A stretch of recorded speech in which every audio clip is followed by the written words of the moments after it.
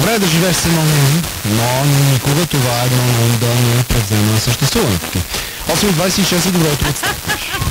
За пътищата. София.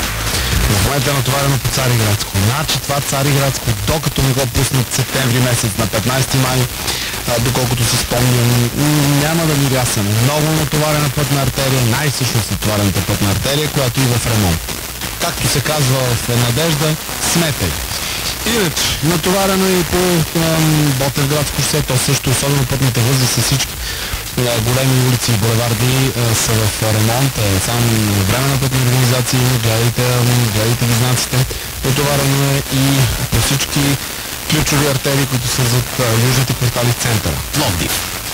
За мен е чест сутрин да съм с мъдрец в ефир. Само да го кажа. Нали? Ти си мъдрец.